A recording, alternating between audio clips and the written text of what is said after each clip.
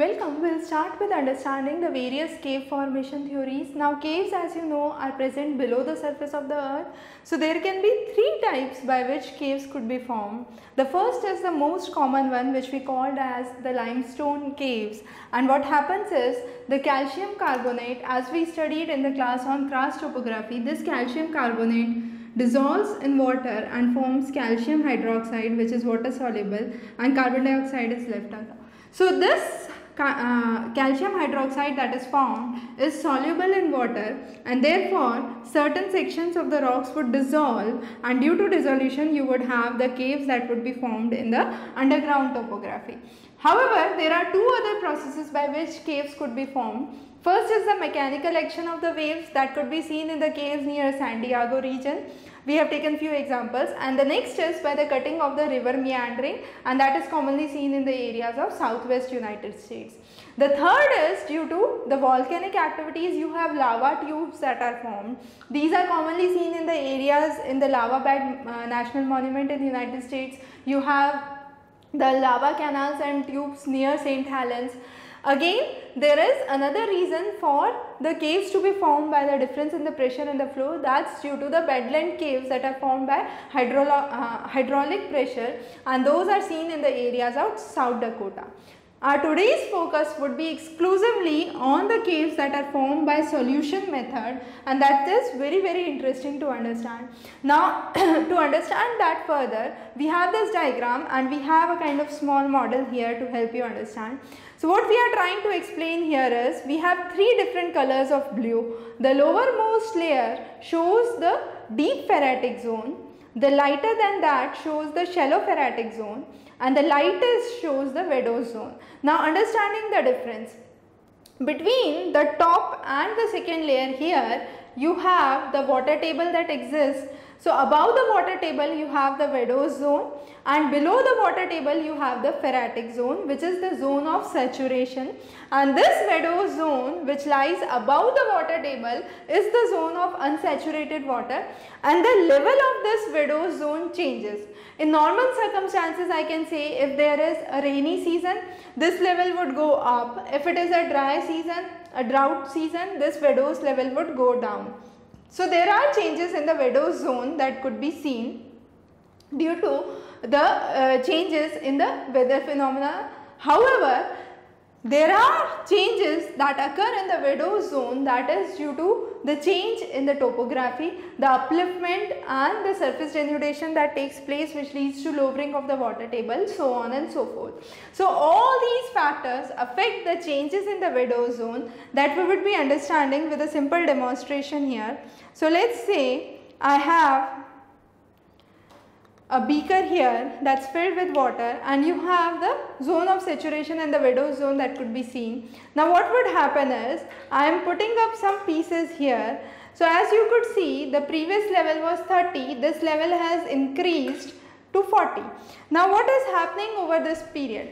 So because of the lowering of the water table or I could say the surface upliftment phenomena, you have the level of the water table that is changing and this level of the water table that changes leads to the formation of caves in the underground topography. Now as we understood in this region, vadose zone is the active area where you have the cave formations. So there were four theories, four types of theories related to cave formation that we would be talking about today of which the vadose theory is the most direct theory and the simplest theory to understand because most of the caves are formed in the vadose zone itself. So what's happening is you have the, the surface and you have a river that is running here.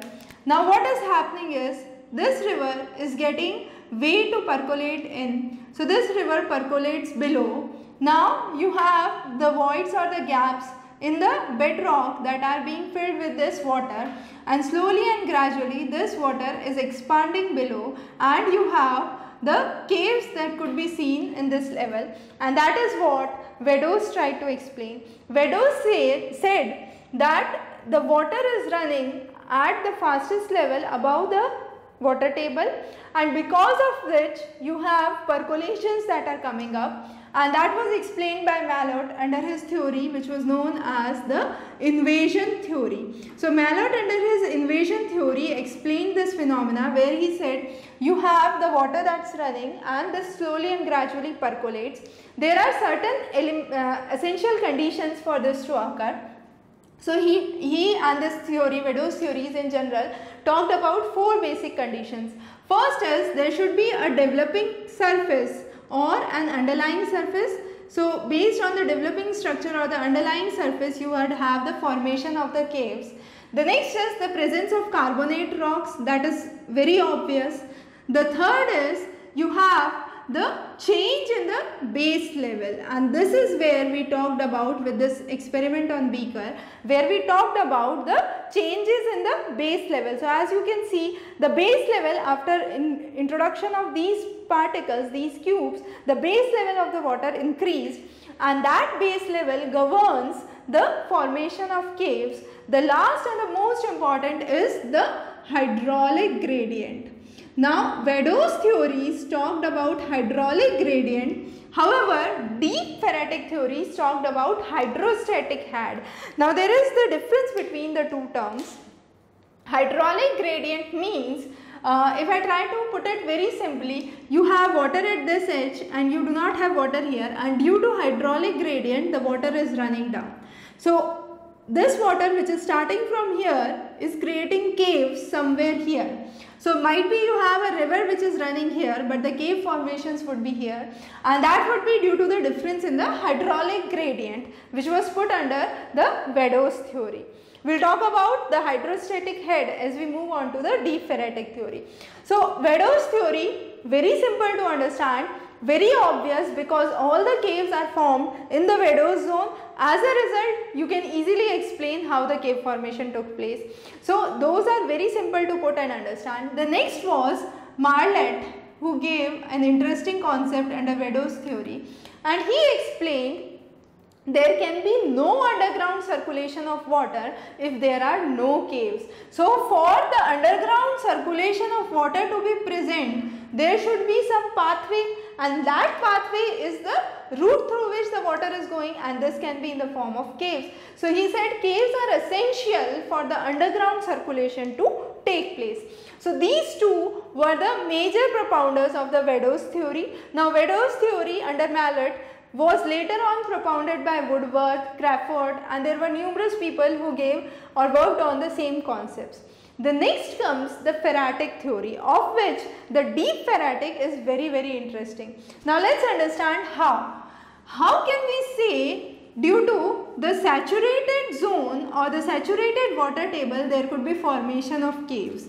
The best way to put it is let's say you have I draw a box here. You have a phreatic rock here and you have the sorry uh, phreatic zone and the Vadose zone here. Now what would happen is there was the water table that was going down. So this water table moved down. As a result you would have the phreatic zone that moved down and this section of the phreatic zone which was at a point phreatic now becomes the Vadose zone. And therefore, in this zone, I can say there are cave formations. And therefore, we can prove that deep phreatic theories put forward the formation of caves. However, it's very difficult to understand. I repeat again, Vadose theory was very explicit, very clear you have the cave formations in that, zone, percolation taking place, water spreading out, rocks dissolving and you have the cave features. Under deep phreatic what's happening, this was the original rock structure, it was phreatic and Vadose. However, over time there was the water table that was going down or there was upliftment that was taking place. Because of that, the portion of the phreatic zone which was at a given time phreatic has now become Vadose zone and therefore we have the cave formations in this zone and that is explained by the deep phreatic theory. Again, deep phreatic theory talks about certain basic features. The first important feature is the concept of hydrostatic head. Now, in the Vadose theory, we talked about the hydraulic gradient. However, under deep phreatic, we talk about hydrostatic head. That means you have presence of, this is the surface, you have the phreatic zone here and this phreatic zone you have the topmost layer and the bottommost layer and both of them are saturated with water. Both of them have water. However, there is the difference and that difference is made up by the hydrostatic head. So that is where we explain the concept of hydrostatic head under deep phreatic theory and the two basic concepts that they talked about. So they first said that there is dissolution and that dissolution of rocks occurs due to the corrosive effects and secondly they said that these corrosive effect, uh, effect leads to cave initiation and cave enlargement and secondly they said the water table that is uh, lowered and this lowering of the water table occurs mainly by the process of surface denudation. So these were the two things that they pointed out. Now there were three basic theories that we would discuss under the deep phreatic. The first is by the Grund.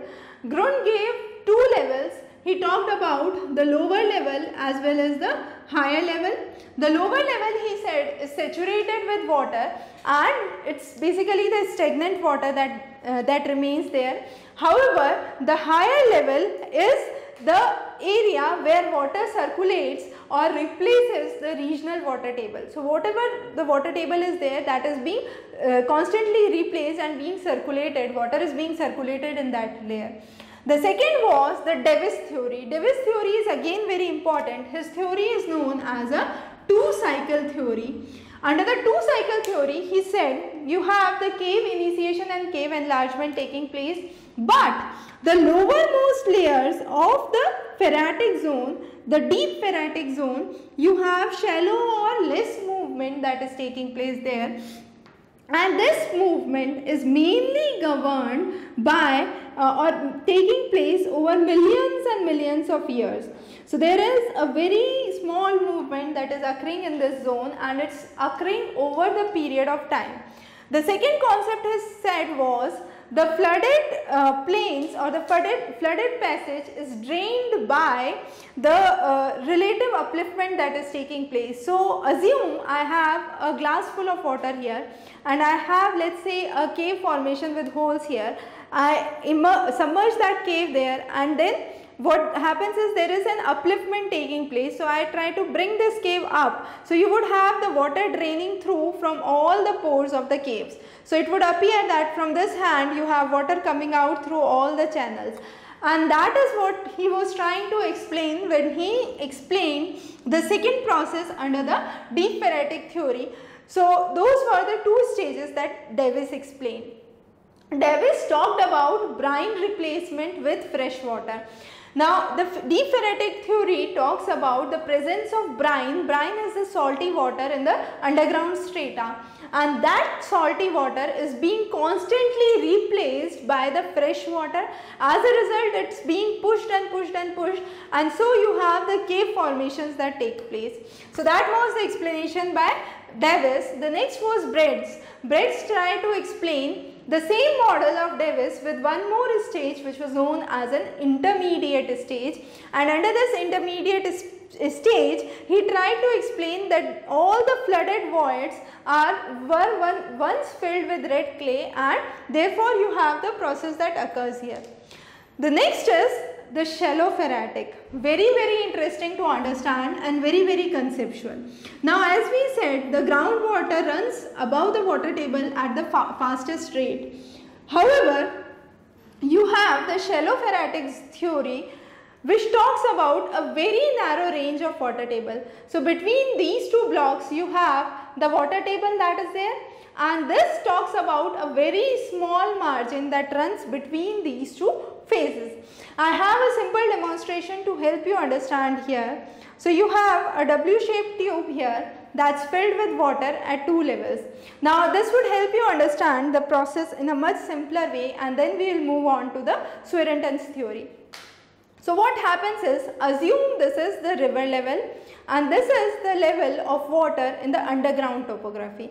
So the thing that is occurring here is underground and this is over the ground. So this is what you can see actually on the surface of the earth and this is what is under the surface of the earth.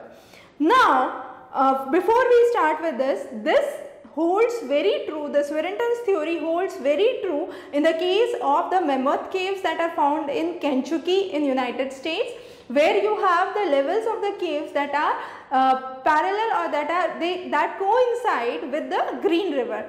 Now what's happening is I have the water at this level but the underground water here which is under the surface of a highland, let's say it's a kind of plateau or a highland something like this here, you have the surface that is high here and you have the river that's flowing here. So you have the water at the same levels. Now what happens if the water le level on the this side is increased. So watch it carefully. What will happen if I am increasing the water level this side the water level on the other side is also increasing. This proves, this very well proves that once when the water table was lower, you had the caves that were formed at a lower level. Now the water table increased. So here which is the region which is below the surface of the earth, you would have caves but they, those caves would be at a much higher level and this explained the tiered caves formation under the Swinnerton theory. So Swinnerton was one of the major proponents of the theory that was being propounded uh, under the shallow phreatic zone and what he tried to explain was the changes in the elevation of the water table. So he explained the water table that was once here I repeat it again the same experiment that we did here I have it here on the board. You have the river that is running here and parallel to the river you have a mountain. Now water would be at the same level both under the mountain and on the river. So you have the caves that were formed here. Now the level of the river increased and river is flowing at this level now. So you would have the caves that would be seen that would be at this level in the underground topography and so on and so forth. And because of that I can see there are tiered caves that are formed in the surface of the earth and these tiered caves were very well explained by the Swinnerton theory. So he talked about the changes in the water table level. These changes in the water table level govern the formation of the caves within the highland or the upland that is at the same level and uh, he tried to bring out the idea of seasonal variations. However, that seasonal variation is just a kind of periodic phenomena. This could be better explained with the changes in the landforms, the upliftment and the denudational activities that are taking place. So as we said Mammoth Cave in Kentucky was a perfect example to explain the Swinnerton's model because in Kentucky you have the tiered caves from A to F that are being formed at the same levels as the Green River flowed. So as the Green River flew, uh, uh, pass through you have the cave formation. So if the Green River was at this level you have caves at this level. Now if the Green River is at, at this level you have the caves at this level. The level of the river goes down the formation of the caves goes down and so on and so forth. And that was under the shallow phreatic theories by Swinnerton. The most important theory and the last theory that we would be discussing today is the static water zone theory. This theory was propounded by Gardner theory is very similar to Swinnerton's theory, however, it's a bit different theory. So let's understand this. You have the base level that exists here. Now, you have the river that is flowing here. Now, this river, the water is percolating down. After percolation, it flows through the carrier beds. Now, these are certain carrier beds or rocks that are kind of allowing the water to move here and so you have the movement here. Now from this you would have the water that would percolate further, move through another set of carrier beds, then water percolating down, move through another set of carrier beds and so on and by this process you have the cave formations at different level. So first cave formation at this level, second at this level, third at this level and so on and so forth. So this is the actual water table that exists. Now what Gardner explained was this water table does not fluctuate. This remains the same. So Shallow-Phreatic said there was change in the water table. He said there is no change in the water table. The water table would remain here itself. What has changed is the stratigraphic zones and why there are carrier beds that are present here. That is due to the fact that explains the deep phreatic theories that these rocks for some time at a point phreatic have now become vadose due to lowering of the water table. As a result there were carrier beds that were present here and these carrier beds are the result of the lowering of the water table or the change of the rock structure, the change of the stratigraphy of the rock and you have the cave formations that could be seen at different level and he also tried to explain the formation of tiered caves but through his theory of static water zone which was a kind of which was a kind of combination of both the phreatic and the Vadose theory. However, under Shallow-Phreatic, he talked about the changes in the water table level. So this is the key aspect to understand under these four theories. Very, very important, all these four types of theories which lead to formation of caves.